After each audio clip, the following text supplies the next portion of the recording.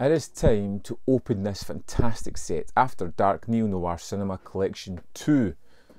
And the first movie in that set is number 178 in the imprint range, and that is Blue Steel from 1990. Jamie Lee Curtis stars as Megan Turner, a, a kind of rookie police officer. We just see her passing her graduation. It's her first day on the job.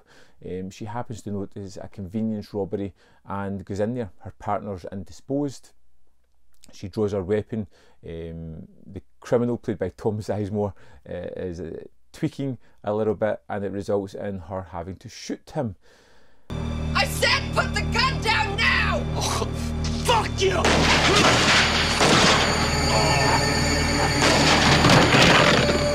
One of the patrons of the convenience store, Ron Silver, is lying on the ground.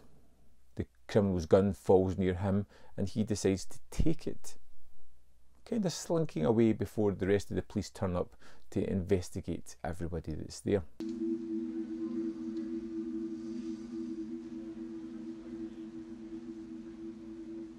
Megan is then suspended from the uh, force because there's no weapon there. Nobody else can really 100% uh, recall seeing a gun, but there's no proof of it anyway.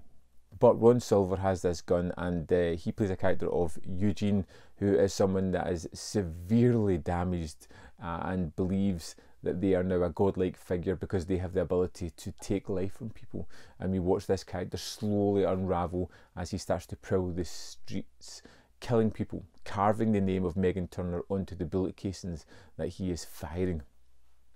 Wasn't so bold, it would be stupid. Wish all homicides were this easy. Give me an answer to this. This movie goes in places that I really was not expecting, and it is truly surprising and thrilling and really uh, pushes the envelope on some of the things that it does, particularly later on in the film, uh, which I think was fantastic. And I don't want to go into too much of the plot here because I really do feel that it's one that you want to watch because it's so surprising and takes so many turns you know, within the first 20 minutes, whatever you have, uh, our character being suspended, with Ron Silver got the gun and starting to feel like he can just walk about shooting people. And there's still a good chunk of the movie to go, and where it goes is just truly fantastic. Freeze! he told me to hold the thing, but it's a piece of shit flashlight. One of my favourite characters is Nick, a detective, homicide detective played by Clancy Brown.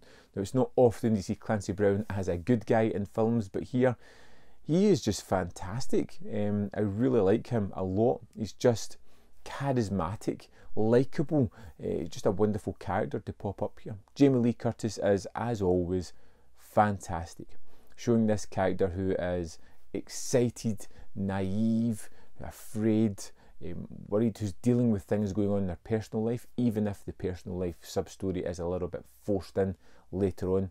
I still kind of appreciated it.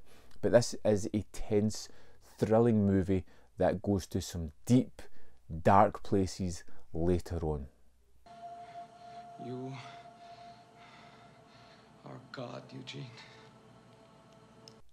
There is a, a moment that could be very hokey depending on how you read it, where uh, Eugene is working out and he starts to hear voices, um, which, because of the performance, I think it sells it. But I could understand this being almost laughable in the hands of other actors. But I do kind of like it here. Um, the character of Eugene is such a wonderful bad guy because he is losing his grip on sanity, yet still being incredibly intelligent, enough to think several steps ahead. He is always ahead of Megan, Nick, the rest of the police force. Um, he is always using his power and money to protect himself. Detective, can I see your warrant? Huh? What the hell's going on here? Huh? Breaking and entering, searching without a warrant, harassment. Oh, detective, your history more than uh, he possibly should be and getting away with certain situations. This is a character who almost is acting as if he has nothing to lose and becomes very dangerous because of that. I, I really I really like this one a lot and, and there's a moment near the end with an attack on Jamie Lee Curtis by Eugene, which was truly shocking, uh, surprising, a little bit icky as well.